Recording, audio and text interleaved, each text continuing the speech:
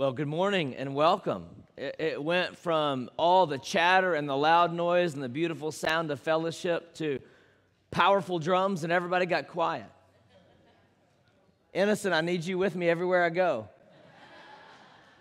Good morning and welcome to church. We're so glad that you're here with us as we begin celebrating the Christmas season uh, together and celebrating who Jesus Christ is. And I'm glad that each and every one of you have come to worship with us today. Church family, it's always good to see you. Thank you for being here today. To those of you who are our guests, we're so glad and honored to have you with us and worshiping with us today. We want you to feel right at home. If you have any needs, have any questions, there's any way we can help you, please let us know and we'll be glad uh, to do it. I hope that you received the digital bulletin each and every week. It should have popped up in your inbox this morning uh, at about 8 o'clock. Uh, I believe, or somewhere in that area, and it lets you know all the things that are happening in the life of our church. But if you don't, uh, then there are some QR codes scattered throughout the building. You can pull out your phone, open up the camera, scan it. It'll give you a link. It'll pop right up right there on your phone, on your device. You'll have all the information on what's happening and going on uh, in the life of our church. We also send out emails. We send a, a, recap email on Thursday before the end of the week. If you don't receive those, contact the office. Uh, let us know. Our new assistant, Leslie Lane, is doing a wonderful job, doing an incredible job. She's bringing great joy, great professionalism, uh, and good hard work, quality work uh, to our office, and we're so grateful to have her. She would be happy to get a chance to meet you or talk to you on the phone. So come by, send an email, let us know what information you're not getting that you want to get, and we'll make sure uh, that you get it. One big announcement that I have uh, today is this Wednesday night, uh, December the 8th, is our last quarterly business meeting of the year.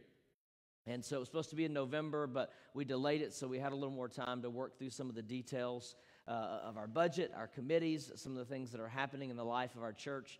And so uh, we're not only going to take care of some business and vote on some committees for next year and the budget for next year, but we're also going to celebrate what God's done and some of the things that have happened in the life of our church. So I hope that you'll join us this Wednesday night at 6:30. We're going to worship together, pray together, and then enter into a time of business session together. So it'll be good, it'll be meaningful. Uh, it'll be the last one for uh, 2021 as we look forward uh, to 2022.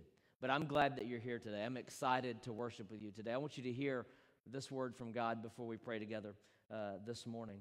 Uh, it says in Luke chapter 2, verse 8 In the same region, shepherds were staying out in the fields, keeping watch over the night uh, with their flocks, and an angel of the Lord stood before them, and the glory of the Lord shone around them, and they were terrified. But the angel said, Don't be afraid, for look, I proclaim to you good news of great joy that'll be for all people. We celebrate Jesus today because Jesus is good news. Jesus brings us great joy, and Jesus is for all people. So let's worship together with one voice, with one heart, as we focus our minds and our lives on Him and ask God to speak into our hearts today that good news of great joy that's for all people. Let's pray together. Father, thank you this morning for the chance to worship. Thank you for the opportunity to celebrate Jesus. God, I'm so grateful that this Christmas season we can enjoy family and we can enjoy friends and, and food and, and fellowship and events and activities and all the wonderful things that come with celebrating Christmas. But God, in it all and through it all and above it all, at the foundation of it all, is your Son, Jesus Christ, and the hope that we have in him. God, we want to celebrate Jesus today. God, we want to lift your name high today. Lord, open our hearts and minds to you. Speak into our lives and help us walk away today changed by the power of your Spirit and the power of your grace and the power of your love. God, may you be glorified today in all that happens in this place. In Jesus' name, amen. Congregation, please stand. Let's sing together Angels We Have Heard on High.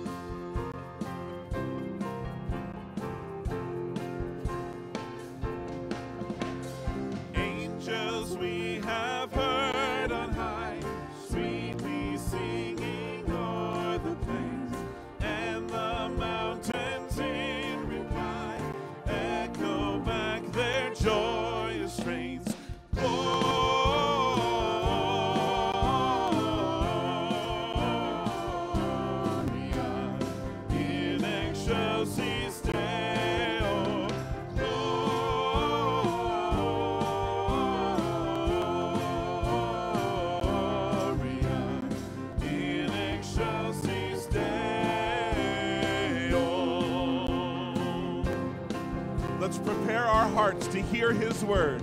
Come to Bethlehem. Come to Bethlehem and see him whose birth the angels sing. Come adore on bended knee, Christ the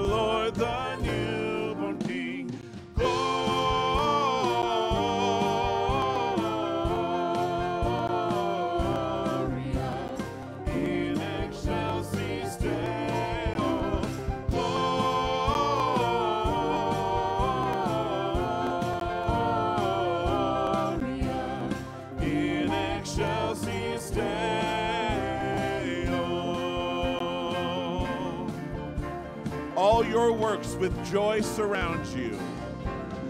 All your works with joy surround you. Earth and heaven reflect thy rays. Stars and angels sing around you. Center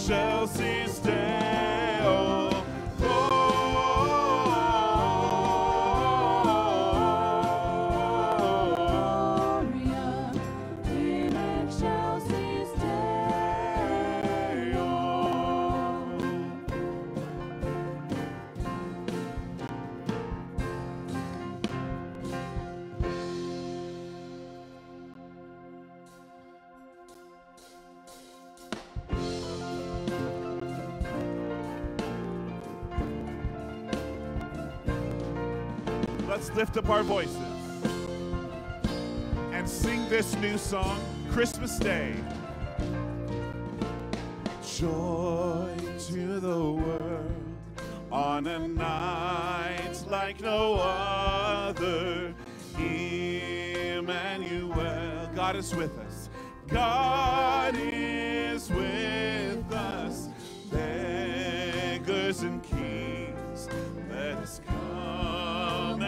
Don't.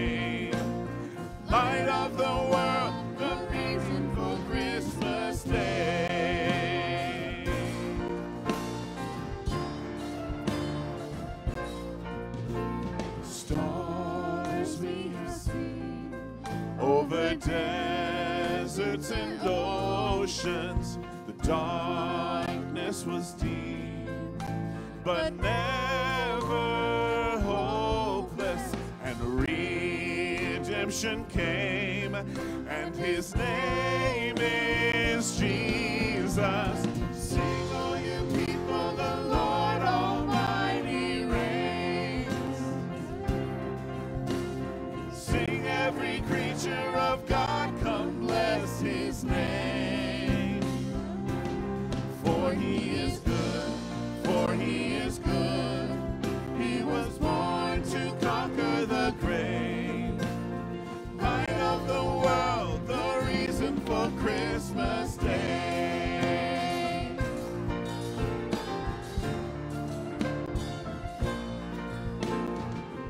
from the mountains. We will shout it.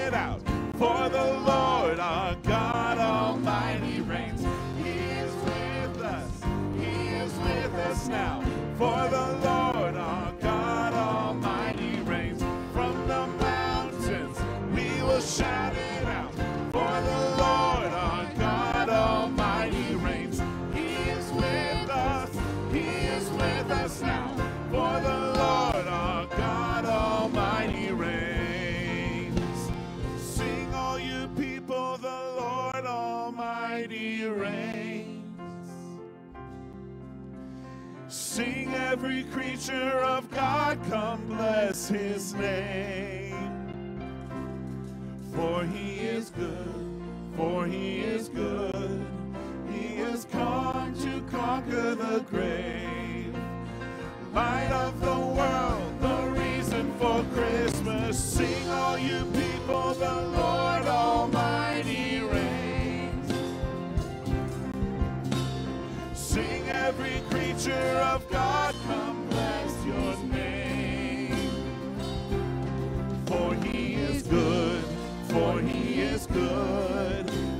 was born to conquer the grave. Light of the world, the reason for Christmas Day.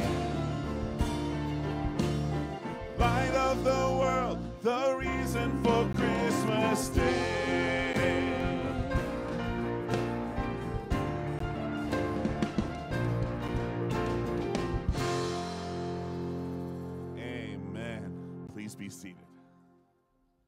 Watch this video. I kind of see part of my story like Joseph. God brought them out of something that at the beginning of the story makes no sense. Even in the middle of the story, you sometimes wonder, God, what are you doing? It's an isolated country run by a military government and under civil war for the last 60 years. I had to live in a hotel. We weren't allowed to go very many places. We were even watched and followed sometimes. I was able to get permission to live up there teaching English. So I started having this Bible study. Within a year, we had baptized believers. I knew that's where I was supposed to be. One morning, I got to the school. Another friend pulls into the compound, just frantic. There were investigators. I just been kicked out of my country. I felt lost. I knew where my heart wanted to be, but I had to trust that God had a reason, and I have to be okay with not knowing why. I was in a neighboring country. I was in this big city. I went to the market to buy some food. All of a sudden, I hear the language of my people. And I realize there are about a half a million of them living in my country. They come here just overwhelmed with life in the big city. I felt a lot like they were. I was a refugee. I was in a country I didn't want to be in, but I couldn't go back. Some of them found community in a local church here, and I went to the pastor of that church and asked him what were the needs here. And after some discussion, he said, What we need is a Bible school in this city, how to share their faith, how to start a church. I don't know how to start a school, but if I need to learn a new skill, I'll learn a new skill. The first day of school, I had 50 students show up.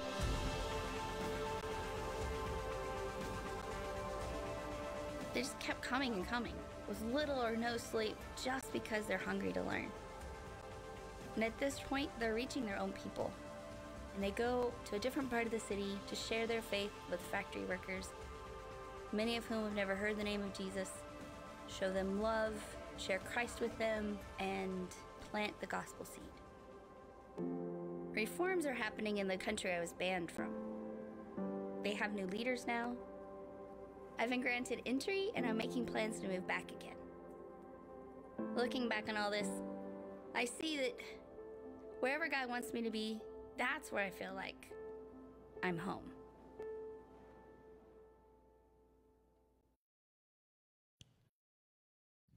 That's one of the probably thousands of stories that we could hear from our fellow Christians serving all over the world, taking the gospel to unreached places, living in dangerous places. But you know what I love about her testimony and her story? Okay, God, this is where I am. I didn't expect to be here, and I don't know why I'm here, but I see a need. And if I need to learn something new, I'm going to learn something new. If I need to do something different, I'm going to do something different. Because, God, this is where you have me. And, God, I want to help reach people with the gospel. What an incredible testimony.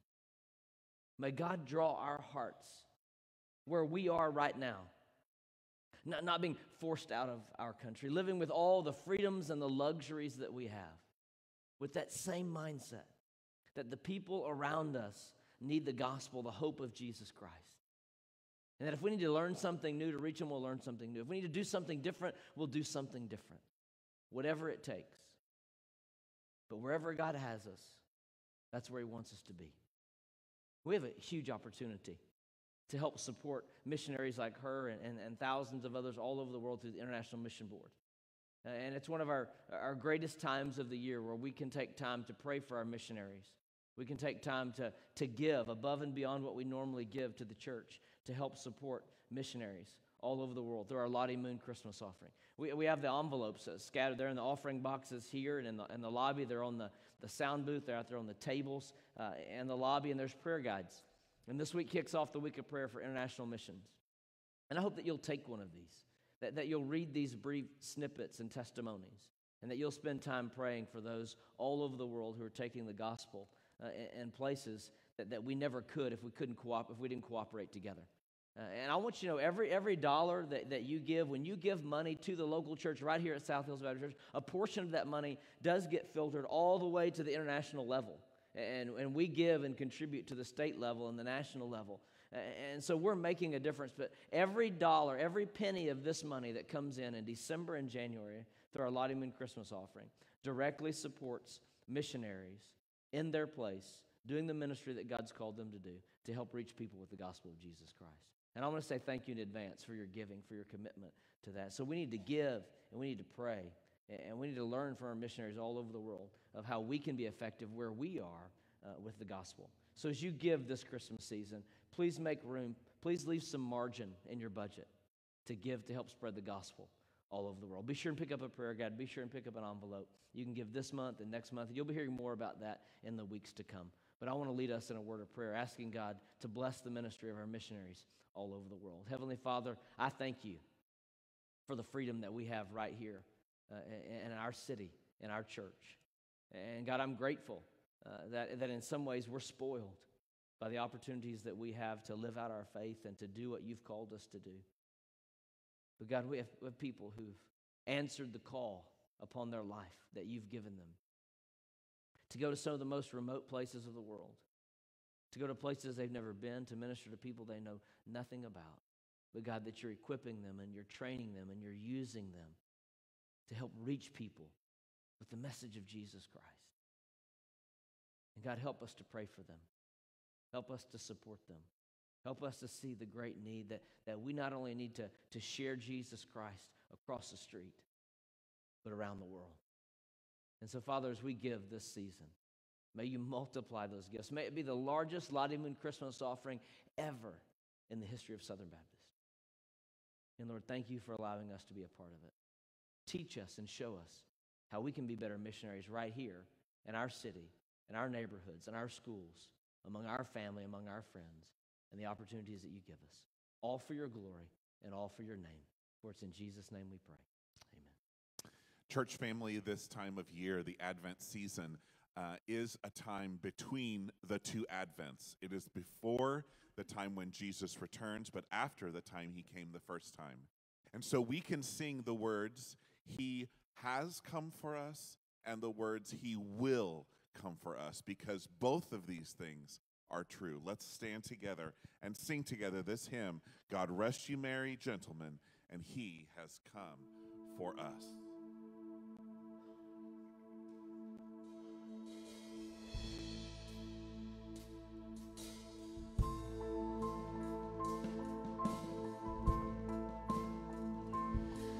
God rest ye merry gentlemen, let nothing you dismay. Remember Christ our Savior was born on Christmas Day to save us all from Satan's power when we were gone astray. Oh, tidings of comfort and joy, comfort and joy. Oh, tidings of comfort and joy.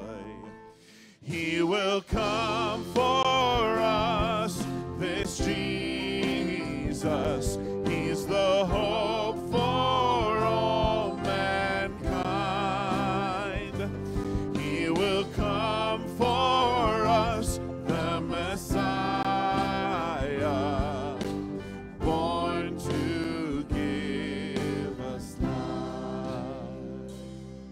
From God our Heavenly Father, a blessed angel came to certain shepherds brought tidings of the same. How that in Bethlehem was born the Son of God by name. Oh, tidings of comfort and joy, comfort and joy. Oh, tidings of comfort and joy.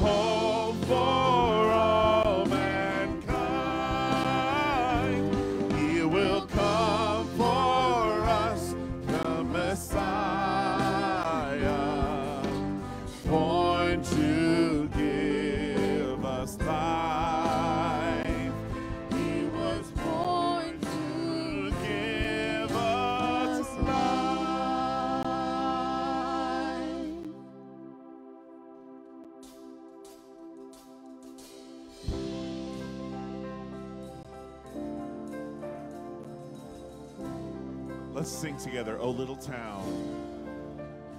Oh little town of Bethlehem, how still we see thee lie above thy deep and dreamless sleep. The silent stars go by, yet in thy dark streets shine.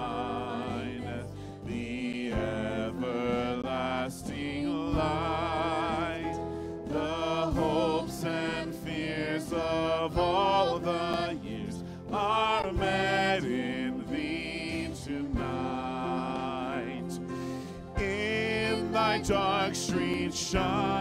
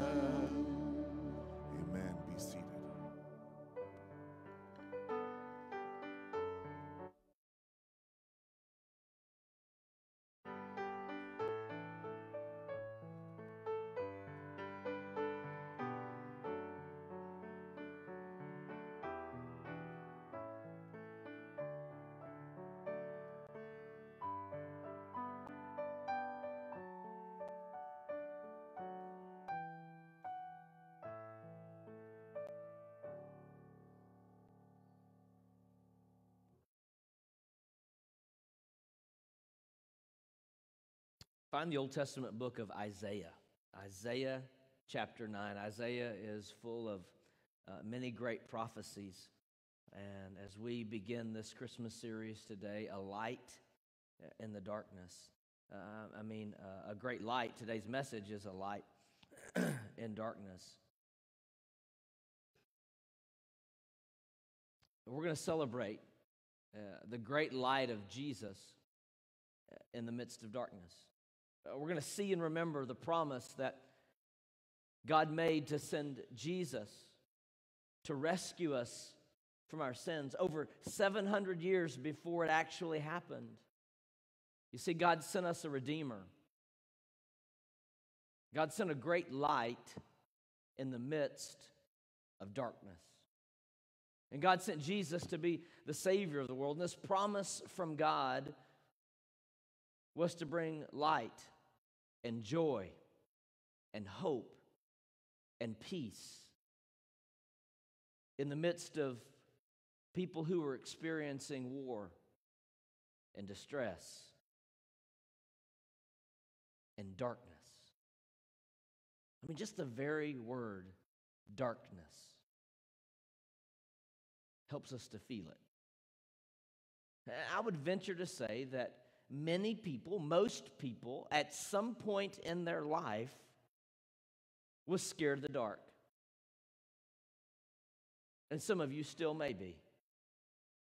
Thought about having the lights go down and speaking about darkness this morning for a moment. But I didn't want to expose some of these grown men and their fear of the dark. But, but darkness can be a scary place. And there's something about darkness that makes us feel unsafe and uncomfortable. Except for me, when it's totally pitch black and it's cool and I'm, I'm going to bed and I'm covered up under the sheets and it's total darkness and, and cold. And like that's the only time that I really like the absolute total darkness. At any other time, darkness is uncomfortable. Uh, darkness is disturbing. You know, in the movies and, and the TV shows that we watch, the bad stuff usually happens in the darkness in the dark of night, in the, in the dark alley, in the, in the dark house. And I still don't understand why the, the investigators and the FBI, when they come in on these TV shows to investigate something bad that's happened or looking for the bad person, that they just don't turn on the lights. It'd be a whole lot easier to see them. It'd be a whole lot less scary. It'd make a whole lot more sense than that little bitty flashlight on top of their gun as they're trying to sweep the house. I'm like, just turn on the light, you'll see him. Turn on the light, you'll, you'll, you'll find the dead body. It's not that hard.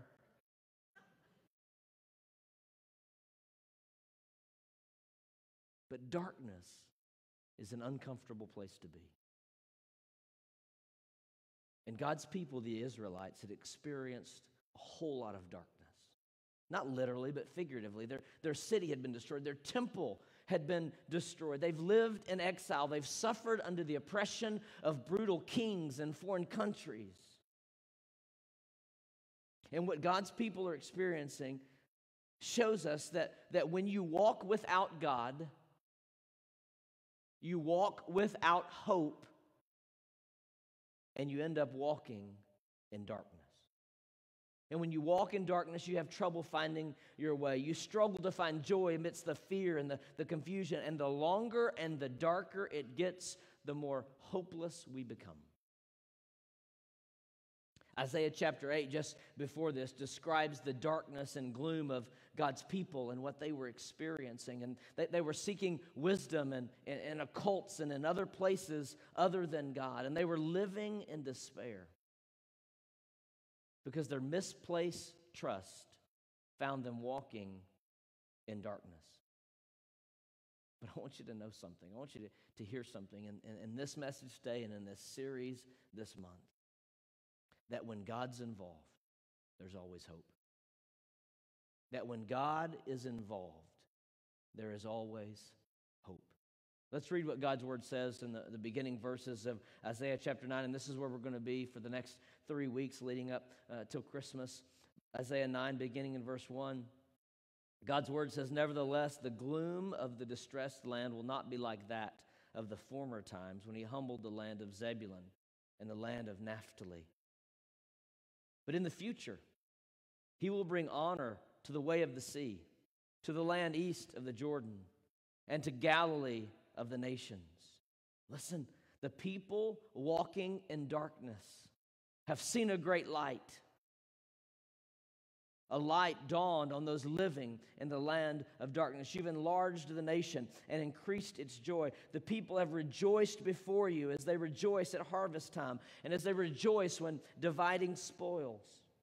For you've shattered their oppressive yoke and, and the rod on their shoulders, the staff of their oppressor, just as you did on the day of Midian. For every trampling boot of, ba- boot of battle and the bloodied garments of war will be burned as fuel for the fire. For a child will be born for us, a son will be given to us, and the government will be on his shoulders. He'll be named Wonderful Counselor, Almighty God, Everlasting Father, Prince of Peace. The dominion will be vast, and its prosperity will never end. He'll reign on the throne of David and over his kingdom to establish and sustain it with justice and righteousness from now and forever. The zeal of the Lord of armies will accomplish this. God says that a great light is coming. God says that hope is on the horizon, that God has a plan, and his plan is Jesus a child, a boy, a baby. Not just a human baby, but a divine baby.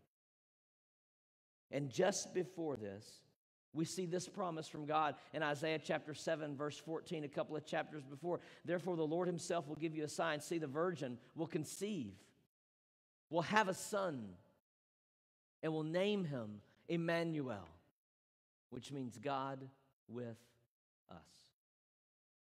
And then we can fast forward from this passage about 700 ish years forward. And Zechariah makes this prophecy in Luke chapter 1, verses 78 and 79. Because of our God's merciful compassion, the dawn from on high will visit us to shine on those who live in darkness and the shadow of death, to guide our feet into the way of peace.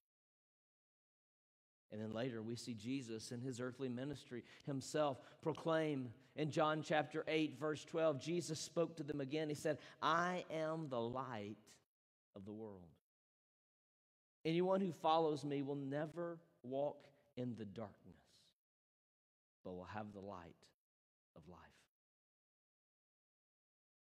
You see, 700 years before Jesus was born, 700 years before the world, changed forever. God proclaimed that hope was coming to a people who were living in darkness. And this was the absolute best news for people who were living in despair. You see, hope can show up in the most unexpected places. Hope can show up in the most unexpected ways. Hope can show up among and through the most unexpected people. I preached a sermon series, a Christmas series, a few years ago about unexpected Christmas and how God used the unexpected people and the unexpected places and the Virgin Mary and the, and the stable and the, and the shepherds to, to worship and, and all the unexpected ways that God miraculously did what he did that we celebrate at Christmas. But hope can show up in the most unexpected places, which means hope can show up in the midst of our darkness. You see, God can bring victory even when it looks like disaster. Now, these people had been waiting in the darkness for a sign. They'd be living in the darkness and the despair of life, and they were looking for help. They were looking for hope from God. And God says, You're about to see a light. It was shocking for them, though, to hear that where this light, this hope would shine. So, so, geographically, you have to go to the, to, the, to the far northern section, to the most pagan area, to the most oppressed region. And God says, There, right there, is where the people walking in darkness are going to see a great light. It's at the end of verse 1 but in the future, he will bring honor to the way of the sea, to the land east of the Jordan, and to Galilee of the nations. In the most unlikely place, under the most unlikely circumstances, God says the people walking in darkness will see a great light. It was the very area where the Assyrians, the powerful, ugly, mean, oppressive Assyrians, where their conquest began. And it's there that God promised that his light would come. And God chose there because God wanted them to see that God's greater than Assyria, God's stronger than Assyria, and that He promises, just as they've experienced grief, just as they've experienced despair of being conquered in that land and in that region and in that place,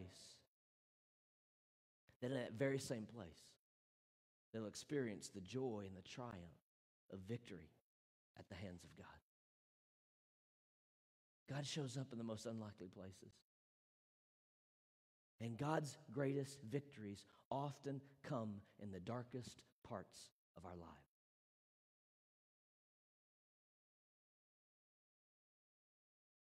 Some of the most powerful moments where God displays himself, where God pours out his grace, where God provides provision, where God provides hope, can come often in the darkest parts of our lives. See, God's about to pour out his grace on his people. God's about to pour out his grace on, on all people because the Redeemer is coming. Hope is on the way. And when hope comes in the form of a great light, darkness doesn't stand a chance. Can you imagine the anticipation of God's people hearing this, living in oppression, living, struggling through, through the darkness? And God said, A great light is coming. Hope is on the horizon. You see, sin had the upper hand. Sin, the disobedience, uh, the, the misguided trust, the, the blatant rebellion against God. Sin had the upper hand, and their darkness was a result of sin. Their oppression and their suffering was a result of sin. And the darkness in our world today is a result of sin. And the problem of sin goes way back beyond before the Israelites messed up, before the Israelites chose to disobey God, before the Israelites chose not to, to honor God and, and to follow God. The darkness of sin goes all the way back to the beginning. Paul reminds us of this in Romans chapter 5, verse 12. He says, Therefore, just as sin entered the world through one man, and death through sin, in this way, death spread to all people because all have sinned. He's talking about Genesis chapter 3. He's talking about the Garden of Eden. He's talking about where God created a perfect world, a perfect world with no sickness, a perfect world with no anger, a perfect world with no fear. But through Adam and Eve, sin entered the world. And because of sin, our world is broken. And God promised to send Jesus to fix it. You see, the promise of a Redeemer was news that everyone needed. The promise of the great light in the darkness was news that everyone needed. You need a Redeemer. I need a Redeemer. All of us need a Redeemer. And our Redeemer is Jesus Christ. He's the one that God promised thousands of years ago, a, promise that He fulfilled with the greatest gift that humanity's ever seen. The people were walking in darkness, and God promised a great light was coming to pierce the darkness.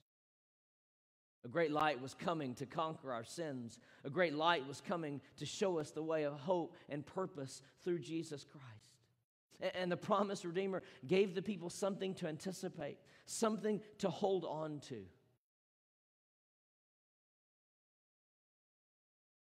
Do you feel like you're walking in darkness? You ever felt like you're just walking and wandering in darkness? Maybe because you've been living without your faith in Jesus Christ. Uh, maybe your faith is in Jesus. Uh, but this tough life, this, this cruel world, has gotten you down, has discouraged you, giving this feeling of darkness. You see, in the midst of our darkness, we need something to anticipate. We need some hope to hold on to. And Jesus is our hope that we can hold on to. He is the one who can pierce our darkness. He is our great light.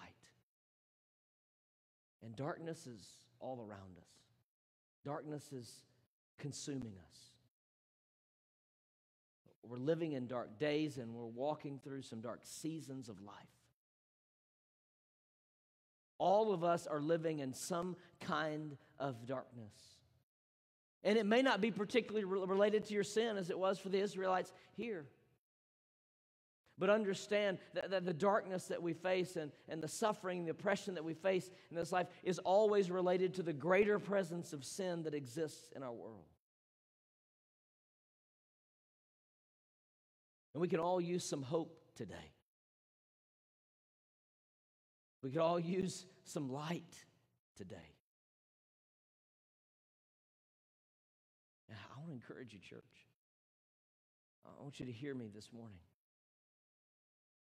that in the darkest hours of your life, the light of Jesus can still shine bright. Don't ever forget that. That's why Jesus came. He came to bring hope, He came to bring peace, He to bring, came to bring comfort and strength when we can't find it anywhere else. When we can't figure it out any other way. That in the darkest hours of your life, the light of Jesus can still shine through. I encourage you, church, to look to Jesus and find hope in your darkness. Focus on the one who promises never to leave us, never to forsake us. Fix your eyes on the one who's ready to display his power, who's prepared to pour out his grace in the midst of your darkness, because every one of us needs to hear this today. The son or the daughter who's providing care for an aging parent needs to hear this today. The person who feels invisible, who feels unseen, who feels unheard, who feels unloved by everyone around them needs to hear this today. The grandmother advocating for her grandchild needs to hear this today. The spouse fighting for hope in their marriage needs to hear this today the wanderer looking for a place and a purpose, the teenager wrestling with his or her identity. The individual who's dealing with great disappointment needs to hear this today that in the darkest hour of your life, the light of Jesus can still shine through. Don't take your eyes off of Jesus. Stay focused on the light. We're all overcome by some form of darkness. Uh, there's some form of darkness that's, that's oppressing us from insecurity to apathy to a painful past or a painful present or a state of confusion or frustration or grief. We need to remember this hope today the hope of a great light in the midst of darkness. And the good news is we don't have to wait 700 years for it like the people of Israel did. We already have it. And Jesus, Jesus has come. He's lived. He's died. He's risen again. He's risen. He's ascended back to heaven. He's sitting at the right hand of the throne of the Father, advocating for you and for me, representing us before God, even in our sin, even in our shame, even in our faults and our failures. You see, as Aaron mentioned a moment ago before we sang, as, as the people of Israel anticipated the coming of the light, the coming of Jesus, We're, we're thousands of years beyond that now, and we anticipate it, and we wait, and we hope in this season of Advent for us for the promised return of Jesus when He's going to come and He's going to make it all right. He's going to see every knee bow before Jesus. He's going to see every tongue confess that Jesus is Lord. But until then, we still have the powerful presence of Jesus with us right here and right now, even in the midst of our darkness. Do not live another day without latching onto the hope of Jesus. Don't move any closer to Christmas without aligning your focus on the light of Christ. Take this moment, take this day, take this hour to confess your sins before God, to turn away from your sins and passionately pursue Jesus. Allow God's grace to break through in your life today and set you free from the guilt and the shame, the burden of sin that's, that you've been carrying around and, and the weight of that darkness. God made a promise. And Isaiah chapter 9, God kept his promise by sending Jesus to live and to die and to rise again, to break the stronghold of our sin, to give us eternal hope through Jesus Christ. And this promise continues to be fulfilled every day that we walk with Jesus. In the coming weeks, uh, next week, we're going to look and see how this great light of Jesus brings great joy and excitement as we see in the following verses. And then we're going to look even more in depth at, at who Jesus is as the great light the wonderful counselor, mighty God, everlasting Father, Prince of Peace. This child, the son that was born, and his reign is going to be forevermore and forevermore and forevermore. But I wanted to lay the foundation today. I want us to recognize the darkness in our life. I want us to see the reality that even in our darkest moments, even in our most difficult days, like the nation of Israel, God promises light, He promises hope, He promises help. Let me be, let me be honest for a moment. I mean, I'm always preaching to you as your pastor, not just as a preacher or a speaker, but I want to talk to you as, as your pastor for a moment. I didn't want to preach a Christmas series this year. No, not bah humbug. He's Scrooge and doesn't like Christmas and doesn't want Christmas. I love Christmas just like the rest of you. I told you last week I've been rocking around the Christmas tree since September. I'm excited about Christmas. I love Christmas. For me, it's the most wonderful time of the year. What, but what I wanted to do, I didn't, I, didn't, I didn't want to preach a separate Christmas series and themed series. I wanted to continue through Mark and I wanted us to spend some time in other aspects of our worship service reading and reflecting on the scriptures of Christmas and the passages of Christ's birth and the hope and the Advent and singing the songs that we're singing uh, about Christmas and, and let that be the, the, the thrust of what we focus on this Christmas. But for some reason, for some reason, I decided a couple of weeks ago that, yeah, I guess I'm going to do a Christmas series. And I landed on these verses. And I, I still didn't really know why, and it was kind of frustrating. But here we are. We're in a Christmas series. And for some reason, the preparation for this has been a little tougher than, than normal. I, I, don't know why. Not because it's a hard to understand passage. I give those to the guest preachers. So when you're coming up, the next set of hard passages in Mark, as we continue Mark and the new year, just expect that there's probably going to be a guest preacher here and there. It's just easier that way. And I can just brush it off as innocence, as a conflict in my schedule, and that's just what came next. But when it comes down to it, I believe as I prepare to, to, to preach and teach God's word, that I'm called to seek the Lord to determine what his people need to hear, what our church needs to hear. And I care about your hearts. I care about your life. And when I seek the Lord, I seek the Lord to show me how He wants His word to speak into your life and to my life and to meet us right where we what I realized is I'm burdened by the darkness in our lives. I'm burdened by some of the individual darknesses that some of you are carrying and the weight that you're experiencing in your life for whatever reason. I'm burdened by, by, by, the darkening and darkening world around us and all that's happening and, and going on. And that's why we're here in Isaiah chapter 9 this Christmas. And I wanted to begin with the focus on where God's people were, where the nation of Israel was in their darkness, and drive home the darkness and the light, and the darkness and the light.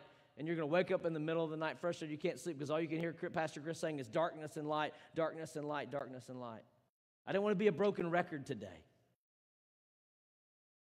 But I wanted to begin where the, where the focus of, of where God's people were in their darkness. And I want you to recognize the reality of the darkness in your life. That darkness exists because sin exists. Suffering exists because sin exists. Grief exists because sin exists. Loss exists because sin exists. And what I'm asking God for this Christmas, I'm asking God to break through the darkness in our world this Christmas.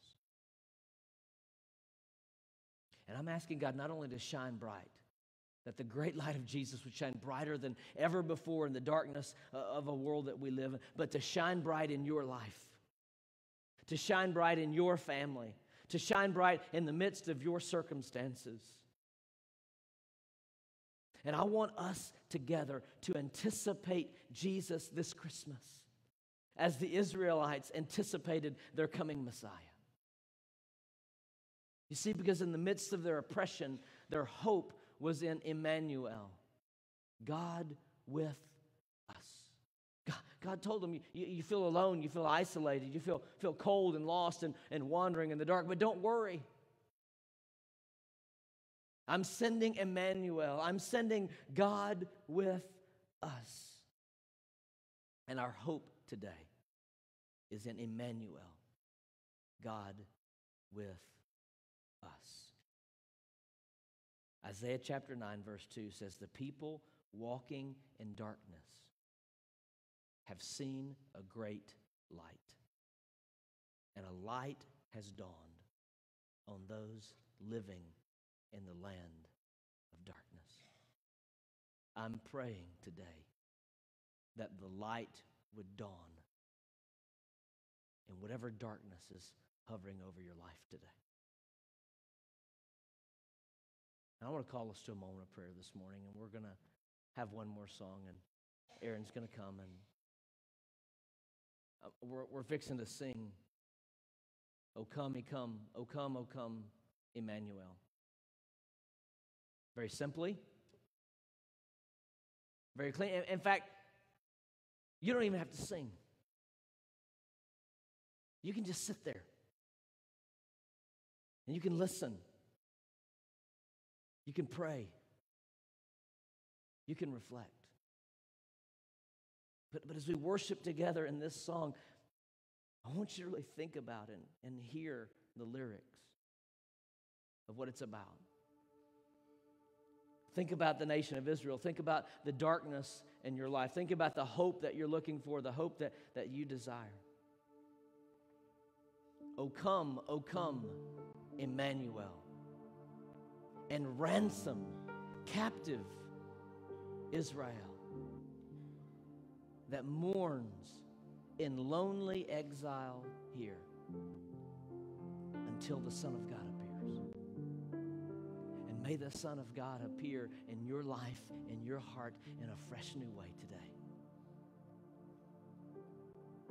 And may His light shine in the midst of our darkness. Heavenly Father, thank you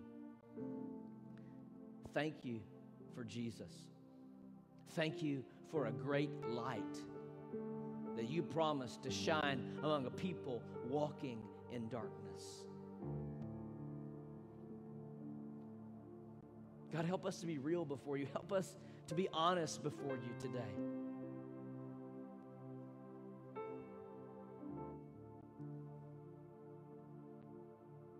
Help us to anticipate Christmas in a fresh new way. And help us to be thankful that for those of us whose faith is already in Jesus, we already have Emmanuel,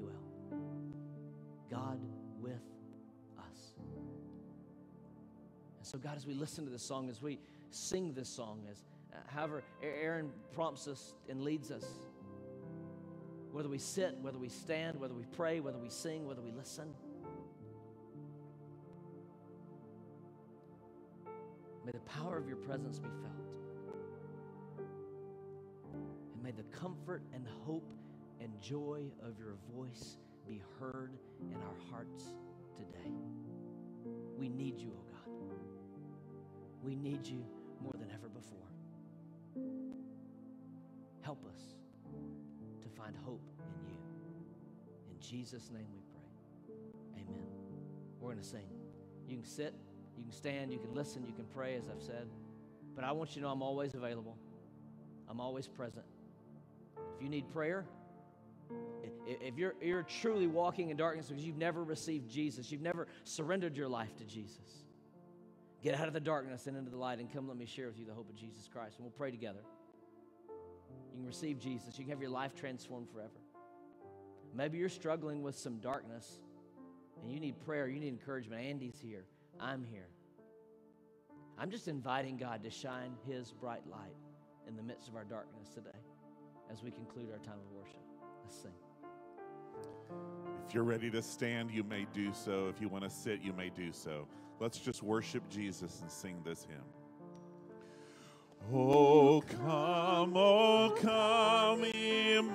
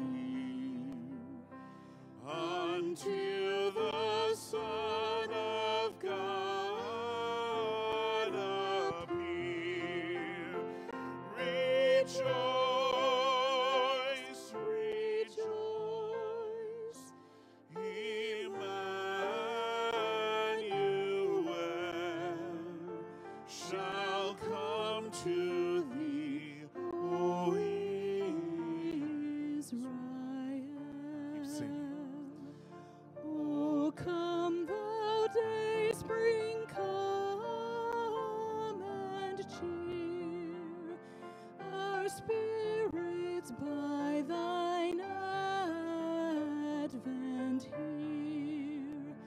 Disperse the gloomy clouds of night and death's dark shadows put to flight. Lift your voices. Rejoice, rejoice,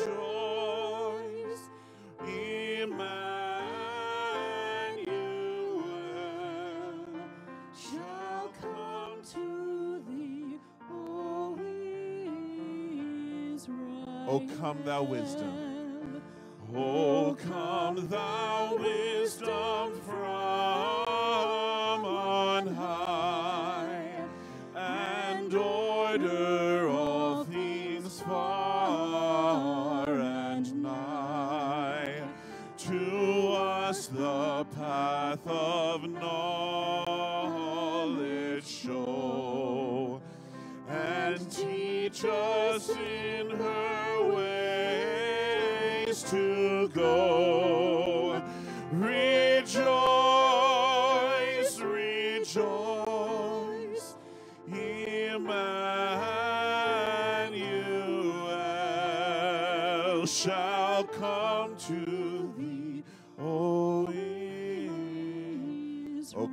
desire of nations. Let's pray that he binds us together.